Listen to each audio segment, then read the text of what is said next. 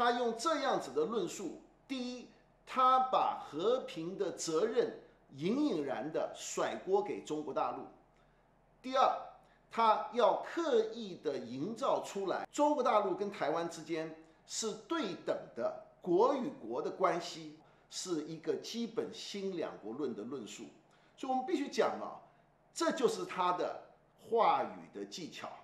你乍看之下，乍听之下，你会觉得说没有什么太大的问题。尤其在台湾社会里面，一般的民众如果不了解赖清德用心的险恶，他很容易就会堕入这个圈套里面。但是我们必须讲，他真正的用意是在后面，他要去创造、塑造出来国与国关系的这一种这个阴谋诡计。